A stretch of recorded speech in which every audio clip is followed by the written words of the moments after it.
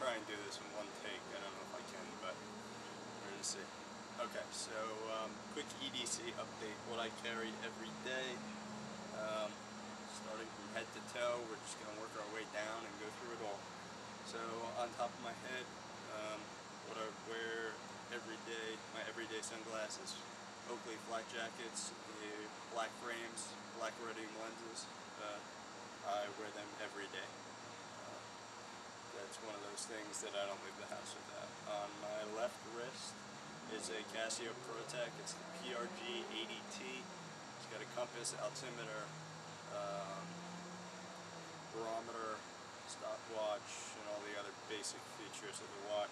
And I just keep a small, uh, about a foot and a half of paracord on my wrist. Uh, nothing big. Um, left front pocket is a Benchmade Mini Barrage combo edge. And phone, a BlackBerry Bold. Um, can't complain. Not the best phone, not the worst phone. That's it for my left front pocket. Uh, my right front pocket, I'm carrying a Surefire E1B. Uh, that is my tactical light a Zippo Classic.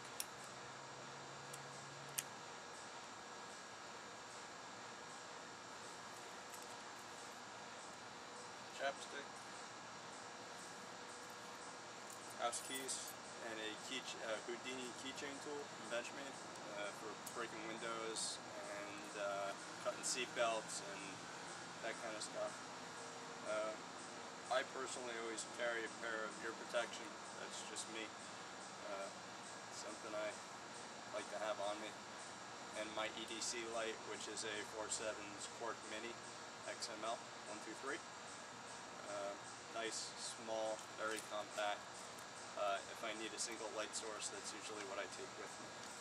So that all fits in my right pocket. And just kind of,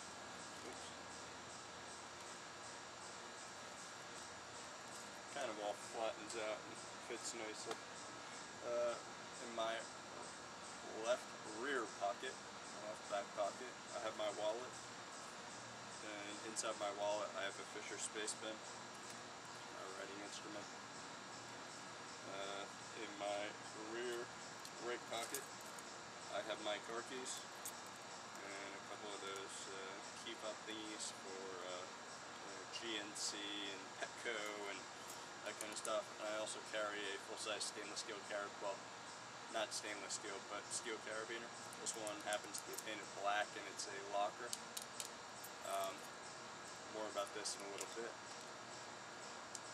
And the creme de la creme that is always hidden, uh, my Ka-Bar TDI, uh, which is either in the waistband or on an ankle. Um, and that is my tactical defense knife. So just a quick EDC update. I'm going to go lay everything out on the table, go over it, what I use it for, and how I use it. And we'll be back in a little bit. See you soon. Alright, so we're back. Um, so back to the EDC update. So I've laid everything out that I showed you in my pockets and we're just going to go over each thing accordingly. Um, starting with um, we'll just start in the top. Um, it's Casio Protek. It's a PRG 80T. Um, it's a full metal band um, with barometer, compass, altimeter, stopwatch, uh, countdown timer, alarms, and the whole deal. Uh, I've had it for a couple years, wear it every day. Um, it is solar, so it doesn't need batteries and great outdoor watch if you're looking for something for the outdoors and you spend a lot of time outdoors definitely recommend the Protek from Casio um, next to that is the BlackBerry Bold um, not too impressed with the phone I do like Blackberries I definitely have a preference towards them but not my favorite Blackberry that I've ever had um, above that is a pair of Oakley flak jackets in black iridium lenses and black frames um, my daily wear sunglasses. They're the darkest that I can find. Um, I'm pretty sensitive to light and I find that they uh, cut out the most that I can find at least on the market. Um, below that is Kipling wallet uh, with credit cards, license, the basics, a little bit of cash. Um, and on top of that I pulled out my Fisher Space Pen which actually fits inside my wallet. I stick it in the fold um, using the pocket clip. Um, so that comes in handy. It's nice and small. It's black ink.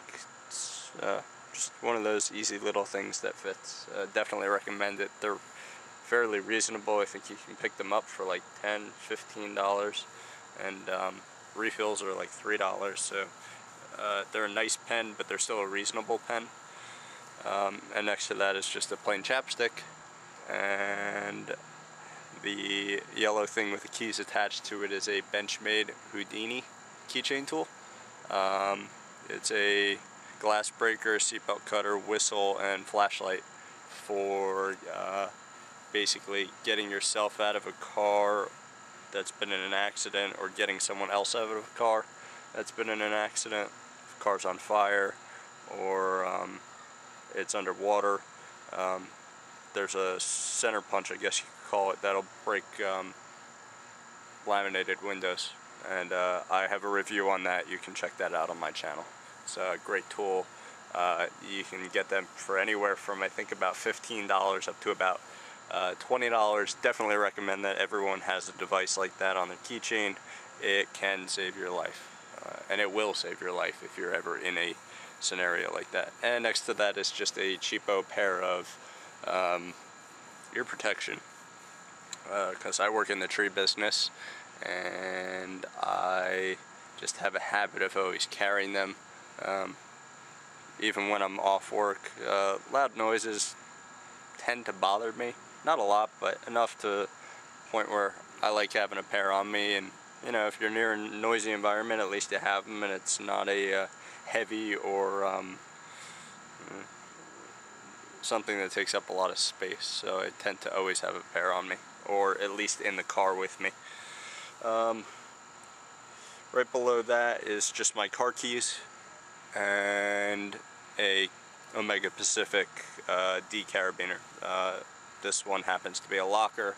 Um, I don't always carry a locker. Uh, that has multiple uses. Um, it can be used to hook my bag to something. Um, I carry tow straps in my car, so it could also be used to pull a car. um, it is actually strong enough to do so. I think that one's rated at about 6,000 pounds. So it's not something you'd want to do on a regular basis, but in the God forbidden sense that someone was really stuck or you really had to get something out of the way, you could use it for that. Um, but the main reason I carry it is more of a uh, tactical tactical defense tool. It's a non-lethal weapon. Um, it can be used like brass knuckles, um, but the key is that it's perfectly legal to carry in all 50 states um, because it's a tool and not a weapon. And it's inconspicuous. So even if someone does see that, they don't think of that as a weapon and they don't really bother you about it. It's not something that a, a police officer, security guard, um, if you go through a security checkpoint, they're not going to ask you questions about it. It's just a carabiner. So it's not a big deal. And it's a good, uh, I wouldn't say loophole, but it's a, a, good device that you can carry legally um, that could save your butt in a scuffle or, or in a confrontation if, if need be.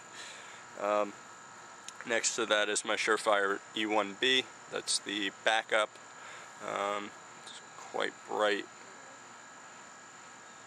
Uh, it's got two modes on it. Um, that is more of a tactical light that I carry. It's my high-powered light. My EDC light, which is next to that, is the 4Sevens Quark Mini XML123 edition. Um, that's more of just my standard use. Uh, if I'm walking around and I need a little bit of a light source, I use the Quark Mini. Um, the backup is more if I am walking around a dark area or I am in the city or something like that where I need a little bit of extra light and or as a tactical tool to scare the crap out of someone. You know, if, if someone is harassing you or following you, usually if you turn around and flash a light like that at them, they usually back off. They usually get the hint and they usually stay away. Um, usually if you flash a flashlight like that at somebody, they get the hint that you're more well prepared than they are and that you're not someone that they want to um, get involved with, whether it be a confrontation, a fight, uh, a mugging, or anything like that. Um, next to the flashlights, uh, my tactical blade is my Ka-Bar TDI, um, which I don't use that often. Um, that really is, except for, you know, practicing with it every once in a while, that is strictly my tactical defense blade. Um, that stays either in the waistband, uh, in a jacket pocket, or on my ankle, basically at all times. One of one of those three options. And then my basic EDC knife is my Benchmade 585S which is the Barrage, um, and that is my everyday EDC knife that goes to work with me, that goes with me on errands. I basically don't leave the house without it. And I don't leave the house without anything on this uh, little table we have set up here. So this is a quick EDC update. Uh, thanks for watching. Please rate, comment, subscribe, and uh, keep an eye out for some more videos. Um, I think I posted this on the YouTube account. I have a new Blogspot account up. It's alonfn2 at blogspot.com and you can check out um, some written reviews. Um, we're going to put up some commentary. Might even post some of the videos from YouTube up there.